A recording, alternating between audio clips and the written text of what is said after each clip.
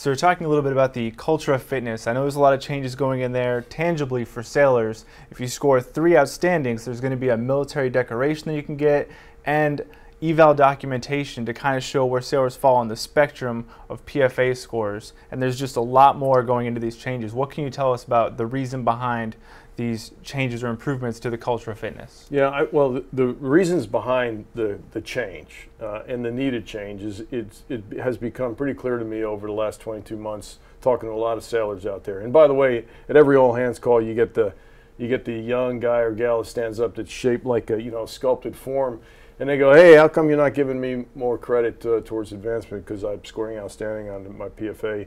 And then you get another sailor stands up. He's kind of built, you know, big and solid, and uh, but they look sharp, and they say, hey, I'm really struggling because I can't meet the uh, the height weight standards or the BCA.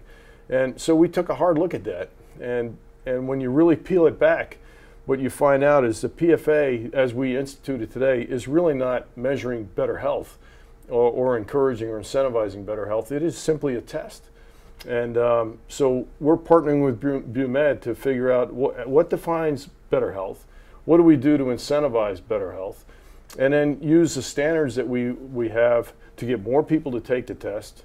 So we're gonna we're gonna be more um, forgiving in terms of the BCA measurements or whatever measurement we decide to use to determine who's healthy enough to go ahead and take the test. So we've got more people taking the test, um, and then really giving them more latitude to really pay most attention to: Am I am I doing the right things to be healthier?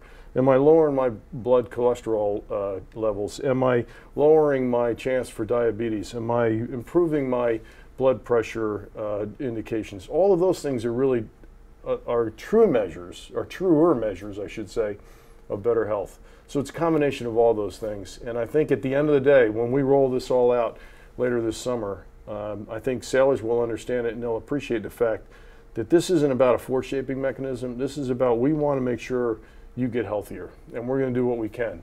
So things like expanded gym hours across the fleet, um, things like adding hours on the front end and back end of CDC, Child Care Development Center, so that more sailors get to participate in healthier activity.